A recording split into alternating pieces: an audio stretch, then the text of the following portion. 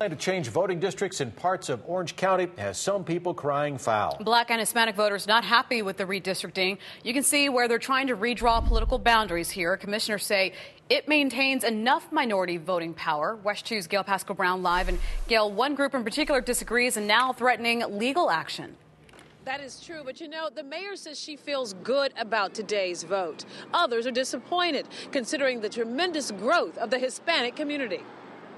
Those in favor of M3, please say aye. Aye. Opposed? No.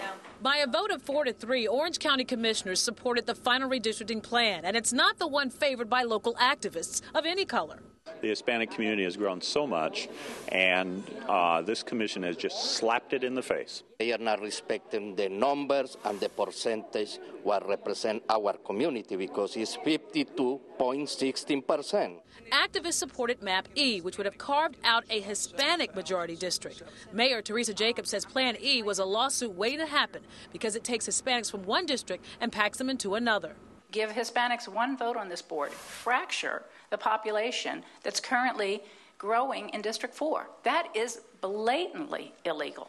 Commissioners supported MAP M3, or the mayor's version. By race, this plan creates 41.4% Hispanic population in District 3, down currently from 44%.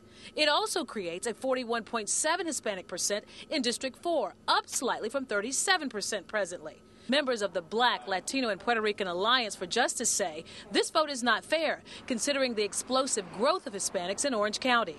We definitely go into court. With the alliance, we're looking at doing that. We don't like the threat, but this is a fact. We go into court.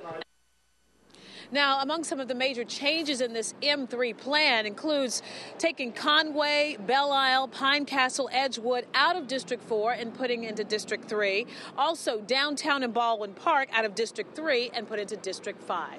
I'm Gail Paschall-Brown in Orange County for WESH 2 News.